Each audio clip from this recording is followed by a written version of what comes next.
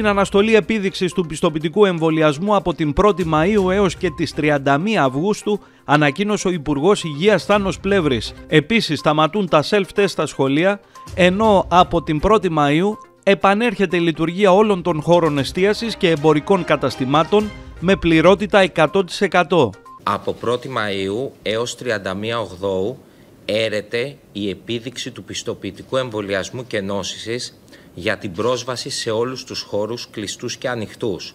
Αυτό σημαίνει ότι εκεί που υπήρχε και υποχρέωση διενέργειας τεστ δεν θα χρειάζεται να διενεργείται. Το μέτρο θα επανεξεταστεί την 1η Σεπτεμβρίου. Παράλληλα, το αμέσως επόμενο χρονικό διάστημα θα εξεταστεί και η άρση επίδειξης του Ευρωπαϊκού Πιστοποιητικού για την είσοδο στη χώρα, οπότε και θα υπάρξουν νεότερες ανακοινώσεις. Έως τις 31 Μαΐου παραμένει υποχρεωτικότητα χρήσης μάσκας για τους εσωτερικούς χώρους. Από 1η Ιουνίου θα αρθεί υποχρεωτικότητα με εξαιρέσεις που θα διευκρινιστούν στις επόμενες σκία.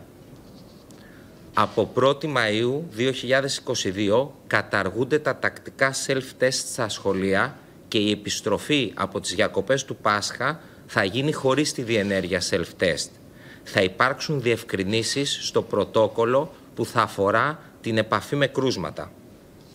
Από 1η Μαΐου ε, ε, ορίζεται ένα rapid test την εβδομάδα για την πρόσβαση των ανεμβολιάσεων των συμπολιτών μας στους χώρους εργασίας ενώ από 1η Μαΐου ως 31 Οκτώου επανέρχεται η λειτουργία όλων των χώρων στο 100% και έρεται κάθε μετρικός περιορισμός.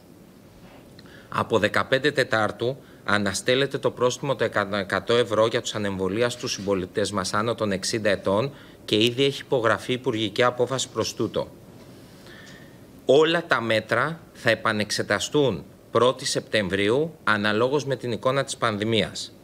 Το Πάσχα θα γιορταστεί με τα υπάρχοντα μέτρα και θα υπάρχει σύσταση χρήσης μάσκας όπου υπάρχει συγχρονισμός σε εξωτερικούς χώρους.